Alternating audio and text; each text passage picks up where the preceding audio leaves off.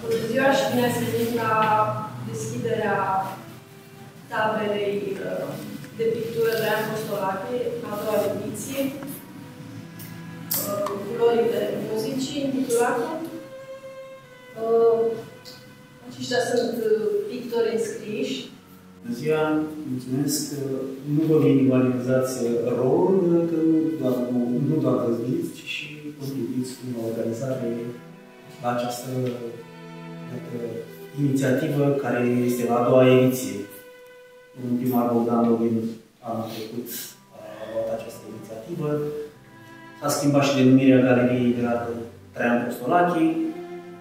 În uh, multitudinea de evenimente culturale artistice care se desfășoară în Rădăuț și poate pe care unii nu le cunosc, iată că se înscrie și această tabără de pictură, se adaugă un eveniment de o altă factură, pe partea aceasta de artă, pe lângă muzică clasică, folk, uh, folclor, uh, teatru, uh, muzică corală, acestea nu vin în minte în acest moment. Iată că ne-am adunat în acest an uh, la cea de-a doua ediție a taberei de cultură uh, Traian Postolache, care uh, poartă numele Culorile Muzicii. Titlul a fost ales în, în contextul anului Ciprian Popescu. Tematica se vrea fi una foarte vastă, se pot se pot uh, contura în creațiile din domeniilor voastre uh, orice aspecte legate de muzică, instrumente muzicale, secvențe din dans, din sări de dans, așa mai departe. Deci am lăsat o arie mult mai largă față de anul trecut uh, pentru, a, pentru creațiile dumneavoastră.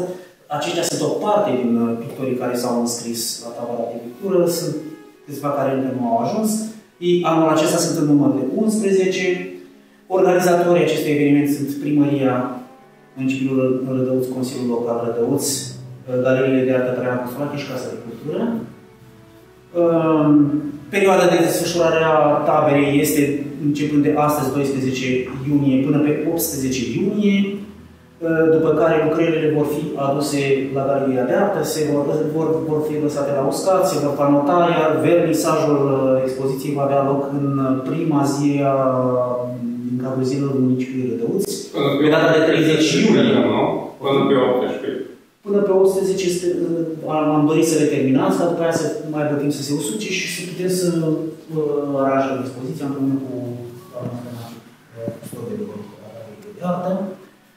Uh, dacă vremea ne va permite, poate ieșim ca așa am trecut în natură să uh, arătăm lumii că se întâmplă uh, acest lucru. Uh, numărul lucrărilor este de 5, în care două vor rămâne în uh, patrimoniul uh, primării municipiului de Lăuț. Uh, regulamentul l-am schimbat dacă, dacă anul trecut a fost uh, uh, concurs.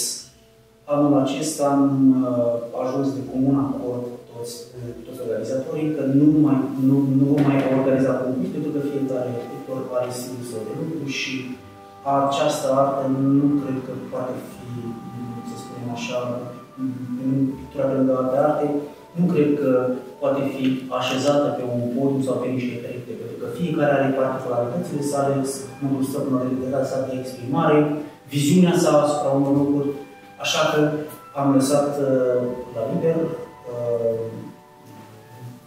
creațiile dumneavoastră, pentru a nu mai fi, să spunem așa, stresați și din punctul ăsta de vedere.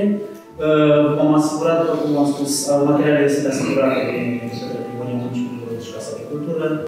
Ne mândrim că orașul Rădăuț are pictori amatori, în afară de faptul că sunt pictori care sunt profesori de desen, care au vechi state, noi suntem cei autodidacți care, în afară de profesia noastră, pe care avem de zi cu zi profesori, de doctori, ingineri, și-au găsit timpul necesar pentru a pune pe în mână și a ne relaxa psihic.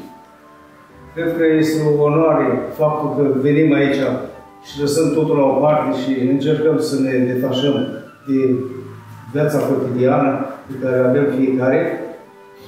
Vrem ca să, prin culorile care le exprimăm, să aducem orașul Rădăuț, fiindcă această galerie este făcută de primărie, este făcută în colaborare cu primăria orașului Rădăuț și Consiliul, Consiliul Primăriei Rădăuț, să aducem un aport, în afara faptului că suntem uh, ocupați, am găsit timpul necesar pentru a fi cât mai, a fi cât mai benefici orașului prin tablourile care le lăsăm aici. Eu oricum mulțumim uh, primăriei Rădăuț și domnului director care a fost tot timpul alături de noi. Cred că de anul trecut până anul ăsta, pictorii care sunt, uh, care majoritatea au fost și anul trecut, s-au mai îmbunătățit, s-au mai îmbunătățit creația, au devenit mai practici și sperăm ca anul ăsta să fie o expoziție mai folositoare și mai benefică.